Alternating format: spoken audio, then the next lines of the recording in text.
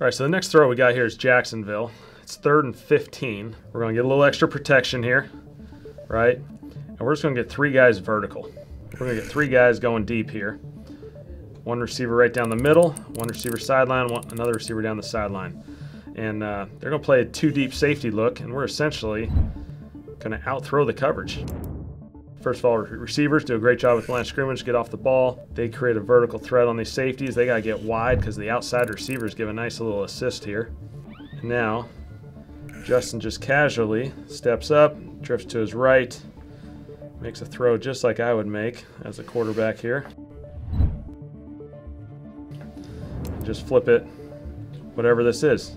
55, 60 yards right down the middle of the field. Just your everyday throw in the NFL right there.